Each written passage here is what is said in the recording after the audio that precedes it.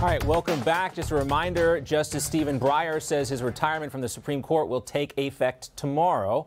The 83 year old judge will be replaced by Judge Ketanji Brown Jackson. Breyer's announcement comes as the High Court gets ready to release its final decisions of the term tomorrow.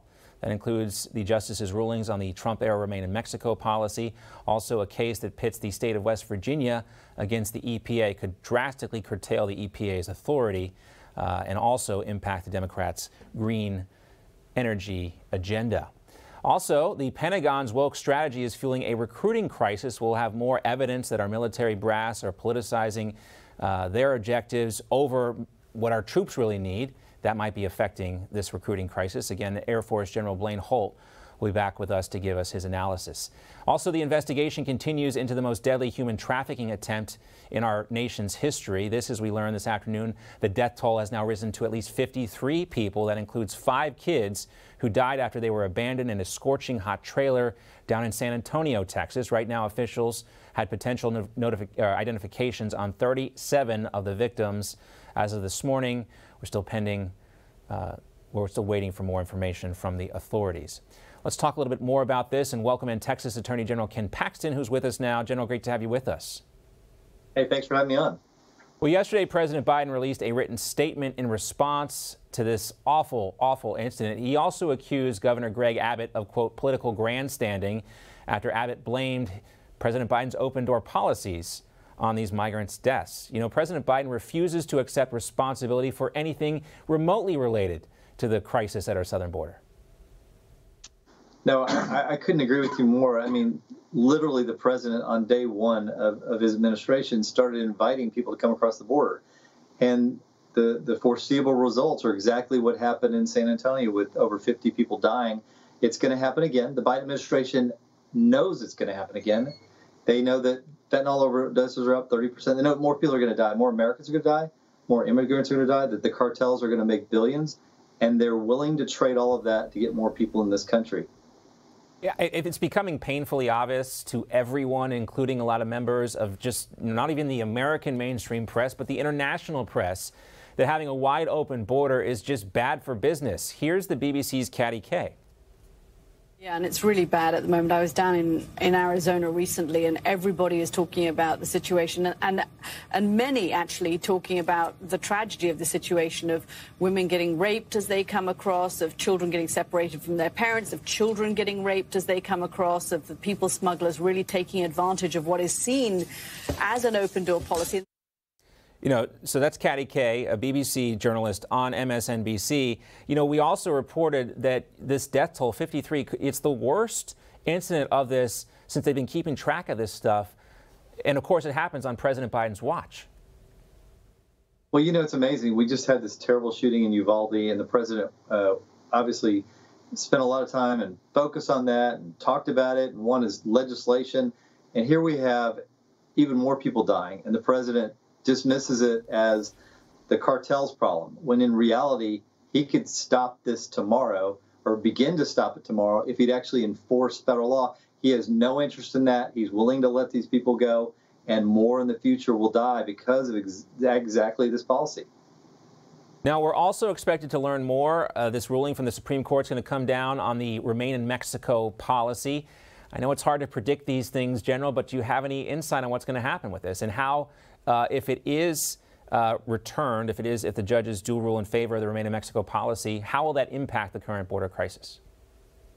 Yeah, look, I'm hopeful. I was there for the argument. Uh, I, I feel like we made the right arguments. I mean, it's pretty clear that the law is a shall, which is if, if somebody's coming across and claiming asylum, the federal government is supposed to deport them or hold them in detainment until their hearing. That's a shall.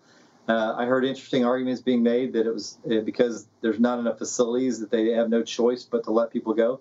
But the reality is, when you invite people to come, you're going to have more people than Congress expected. So yeah, I'm hopeful because this is a pretty significant case for what happens at the border. This is how the Trump administration, one of the main reasons that Trump was able to get the numbers down is enforcing this federal law because this is one of the biggest loopholes we have where you just come to Border Patrol and claim asylum, and then suddenly you get transported around the country.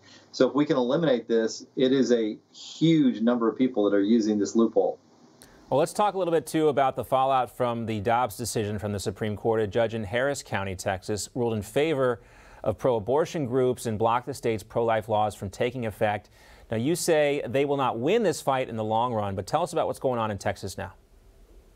Yeah, I mean, it's it's the, the legislature passed more recent legislation, the trigger law, the the, the heartbeat bill, and in each of those pieces of legislation, they they they noted that there was existing law still in place; it was not repealed. So this judge made a political decision to to temporarily restrain uh, these these uh, laws that have been in effect for a long time. But the reality is, those laws are still in effect. They've never been repealed. The legislature specifically passed legislation and said that these these past laws are still in effect. So this judge is just making an individual decision, uh, and she doesn't have the right to do that. So if, if, she if she maintains this position, we have a we have another hearing coming up in a week or two. If she maintains this position, we'll appeal it, and in the end, she'll be overturned.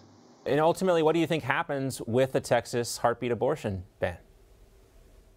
Uh, it stays in place. There's no doubt in my mind. The, the Supreme Court ruled in the Dobbs case. They also ruled in the heartbeat case. Both cases have been at the U.S. Supreme Court.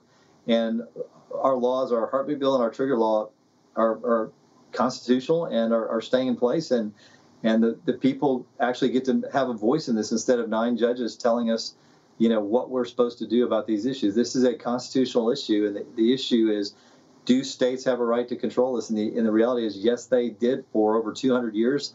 And uh, a seven-person, seven, seven members of the Supreme Court decided that no longer were, was it going to be elected officials that they were going to decide and they did a really poor job. And I think the, the Supreme Court acknowledged that and went back to the way it was supposed to be, which is it's supposed to be elected representatives and people get to vote with their feet now. If they don't like a state and their abortion laws, they can leave or they can they can move.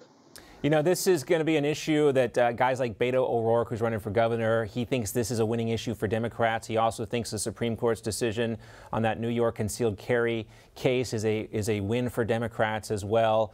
Uh, does he understand the voters of Texas? Look, uh, bring it on. Uh, Wendy Davis, eight years ago, ran on the abortion issue. She made a big show of it in the Texas Senate. I was there when she made the big show, and she thought she was going to win on the abortion issue. And, you know, the reality is it wasn't a winner. A lot of uh, uh pro pro life Catholics and a lot of uh, pro life Hispanics uh, voted for the Republican ticket, and she lost overwhelmingly. So, you know, let Beto run on the abortion issue, killing babies. I don't think it's going to be successful in Texas, nor do I think running against the Second Amendment is going to help uh, Beto O'Rourke. He's very unwise if those are the two issues that he's he's he's counting on to win Texas. Yeah, I mean we've seen the tide already start to turn in the Rio Grande Valley of Texas. That started a couple years ago. We've seen the red wave progressively get bigger down in Texas, and the, these, these family value issues. That's one of the things that's you know I think alienating a lot of Democratic voters. They don't feel like they're represented um, especially the Hispanic voters in Texas, they were taken for granted by Democrats for a long time, and we're starting to see the effects of that now. Attorney General from Texas, Ken Paxton, great to talk to you as always. Thank you. Thank you. Have a great evening. Hey, I'm Rob Finnerty. Thanks for watching. If you enjoyed this video, please join the conversation in the comments below. Don't forget to subscribe, too. Hit the bell icon to be alerted to breaking news. And remember, there's a whole lot more on Newsmax TV, America's fastest growing cable news network. Newsmax TV, we're real news for real people.